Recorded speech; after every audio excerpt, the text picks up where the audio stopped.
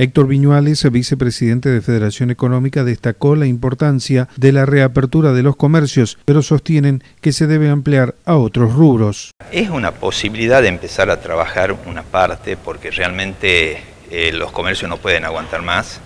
La verdad que la preocupación de, de, los comercios ha llegado, ustedes han visto las marchas, nos estamos fundiendo, están, más allá que le bajen los alquileres, le bajen el tema de la luz, los cheques siguen entrando, los cheques diferidos, hay que, cumplir con una serie de obligaciones.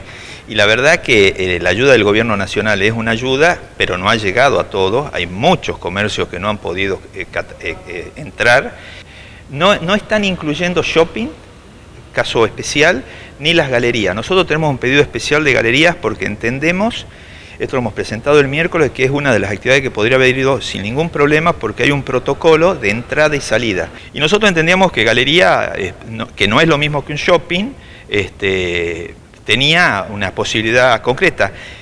Lo han entendido y aparentemente hoy a, a 15 días estaré abriendo los shopping, pero galerías a lo mejor dentro de 7 días.